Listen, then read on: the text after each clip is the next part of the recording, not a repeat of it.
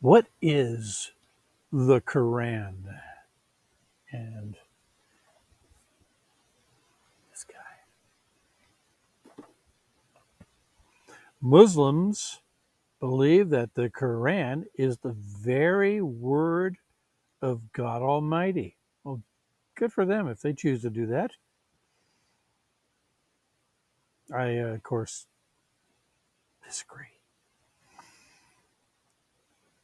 A complete record of the exact words revealed by God through the angel Gabriel to the prophet Muhammad. And as I understand it, Mo was not a lettered man. I mean, I, I don't even know if he could sign his name. So I mean, I mean, I get, but it, it rhymes, and you can sing song it, in the in the, and it's probably catchy, and it's easy to remember. And I mean, it got written down, but uh, kind of a sloppy delivery system, but I, it worked. I guess anything will work, I guess, if the time is right.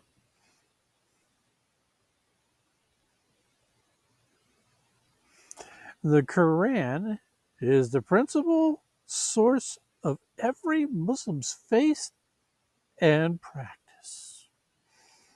It deals with all subjects that concern us as human beings, including wisdom, doctrine, worship, and law. But its basic theme is the relationship between God and his creatures.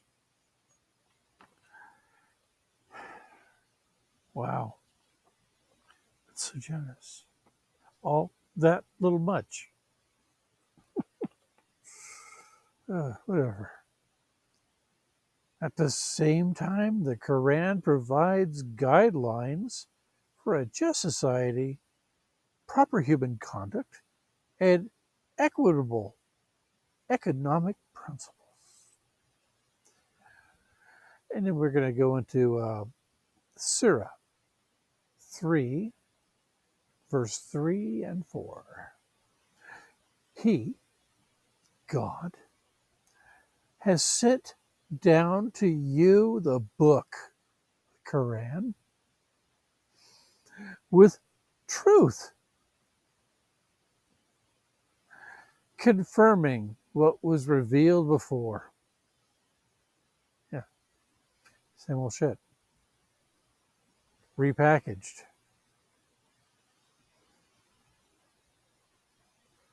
And he sent down the Torah of Moses and the gospel of Jesus, I suppose. Before this, as a guide to humankind. And he sent down the criterion, uh, the Quran.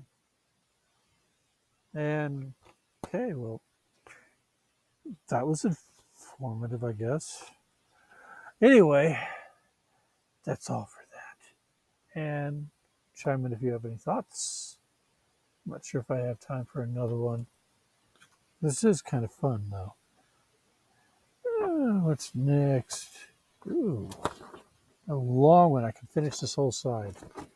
All right. Five Pillars of Islam it is.